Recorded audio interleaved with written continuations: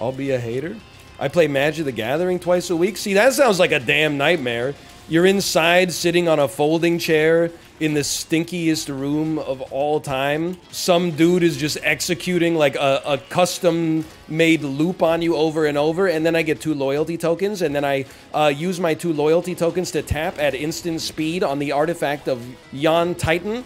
And then that allows me to get a draw. Every time I draw, I get another loyalty token on my Yon Titan Plains land card, which and then I get it twice a week. At least golf, you're outside, you're in the sun, you're getting a little bit of physical exercise, maybe. Magic the Gathering, like my my experience with Magic the Gathering is that playing it basically feels like losing a debate in a language that you don't speak. Sometimes you're like, I'm winning. But then most of the time, some dude who's been playing Magic since 1998 just like goes on. On turn one, he drops like a he, he gets three lands out, and then he drops like a four five on you, and you're like, okay, I guess the part where I had fun is now over. Also, uh, one in three times that you play the game, you just don't draw enough land to actually play, or alternatively, uh, you draw too much land and no actual cards. Minus two, just play drafts. Don't make me tell the story about how during Battle for Zendikar, I accidentally took the full art land out of the pack during the draft because I I know you take the land out of the pack, but then I didn't realize in Battle for Zendikar you don't take the full art land out of the pack because each one at the time could have been worth as much as a dollar. And then we got to the end of pack one and everybody started to go fucking Columbo. Wait a minute, I didn't get a card. What happened? Well, on turn six I got past this and I noticed there were only eight cards, but I just figured I wouldn't say anything and I would just pass it along. Then people started getting well like, well I took a common. I would have taken the full art if the full art was in there. It's a dollar! You guys, you guys have lost your damn mind! And then I never went back because the environment was so inhospitable. I'm not making fun of Magic the Gathering players. This is a real story that really happened to me.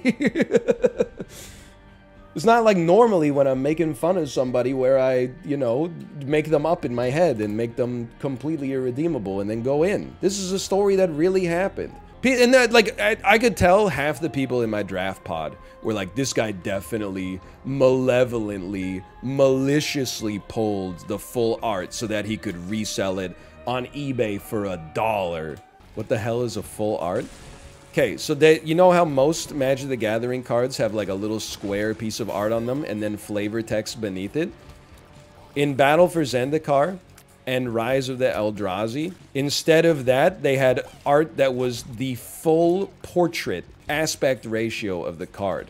So people were like, "Holy cow, this art these full arts are going to be worth more than regular lands, which are mostly considered bulk, you know? Like you could just take them for free when you go to any card store."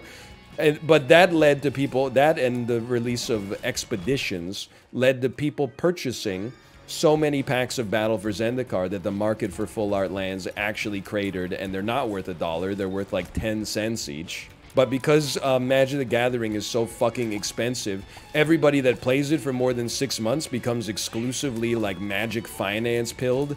And when they draft for like 15 bucks, you can't spend 15 bucks on just like an enjoyable six hour night out where you get to play two, uh, two rounds of Magic and then stand around for an hour and a half waiting for two people to go to turns.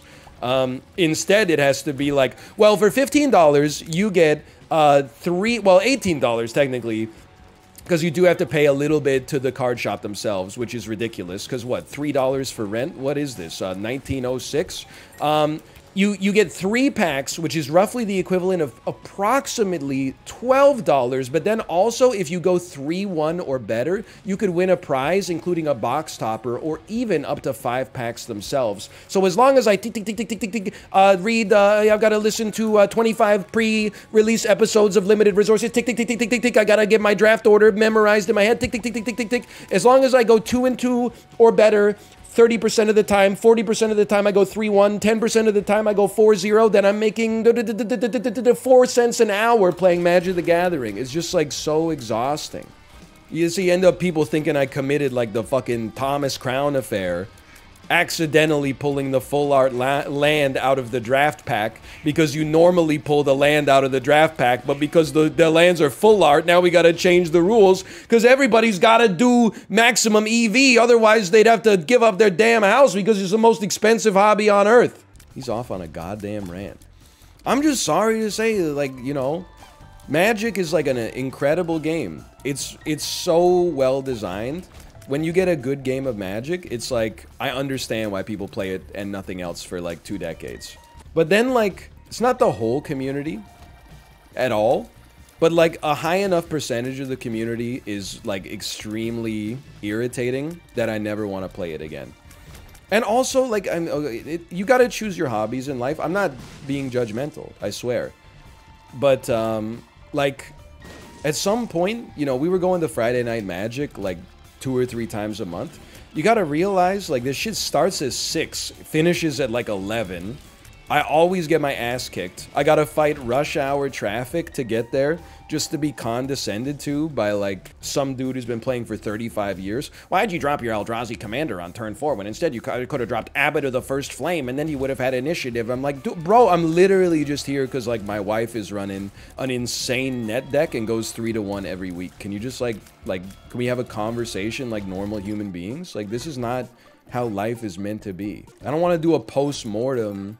I mean, it's not necessarily like, you know, rude but I don't want to do a post-mortem like every time I lose in Magic the Gathering because I don't want to give you the illusion that I'm ever going to get good at this game. Like, I'm just, I'm literally here for my spouse and that's it. Do you watch, like, any sports? do, you, do you play any video games? Oh, Magic the Gathering Online. Before Arena came out, you spent $100 a week in Magic the Gathering online drafts. It's like playing a damn Excel spreadsheet. Okay. Well, I guess we don't really have that much common ground to talk about. That's fine. Magic Online looks like PowerPoint in 1999.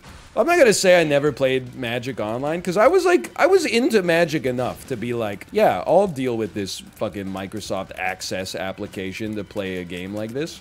But uh, I mean, it is funny how how old it looks, and this is in like 2016. Also, and this is not necessarily even a Magic thing. But when I went to I went to two GPs. I went to GP Vancouver and then we drove down for GP Portland. Not to play in the main event, just to, you know, have a weekend playing some Magic. And at both of them, I felt like there were like 175 backpack thefts. Like every five minutes on the announcements, it's like, please, if anybody's seen a black backpack with an AWS Amazon Web Services tag on it. It seems like backpacks are getting stolen like crazy at these things. And I also feel like, and maybe again, this is like my own personal bias. I don't feel like they're um, stealing the backpack to like, you know, hawk the goods. I feel like they're stealing. Ooh, I feel like they're selling the backpack. Or they're, they're stealing the backpack to get the cards. I feel like they're stealing the backpack in order to be like, holy shit. There's a Chandra's Flame in here. There's a Mox Opal. This is going to be so good in my Legacy deck. Holy shit. Three full art lands. I knew this dude committed a heist. It's like opening packs, but all the cards are good. You know, I never thought about it that way. I mean, you still should not steal. It makes you like a piece of shit. But I guess I understand the appeal of getting stuff for free. that's a that's a universally positive experience most of the time. I guess what I'm trying to say is when people commit theft, one person's sad and one person's happy. Seems fair to me. I'm joking. I'm joking. What's the rarest card you own? We do have a couple of expeditions. I know we have one of the expeditions that is not um, particularly good. Like a, I don't know, I don't. It's one of the ones you wouldn't even remember. I think we do have an expedition polluted delta, which is uh, at least at the time was. I mean, it was a standard playable, but also in like an archetype people actually use. I don't know if fetch lands are, or, yeah, fetch lands are presently in standard, but I know they're modern playable at least. That's so fetch. Dude, you know what's interesting to think of? Actually, maybe I'm wrong about this. But I was going to say, if you watch Mean Girls in 2004, and I told you that Amanda Seyfried would be the best actor out of all of the Mean Girls, you probably would have told me that I was crazy. But then I'm realizing, no, you'd probably be like, actually, it's Rachel McAdams.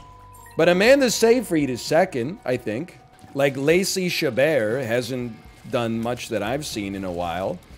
Um, Lindsay Lohan, I don't even know what she's doing. She's hosting like reality shows in Qatar or something. And uh, then Rachel McAdams, you know, she's doing stuff. She's been in a lot of movies. She's she's in Doctor Strange in the at, at the moment at, at the Mouth of Madness.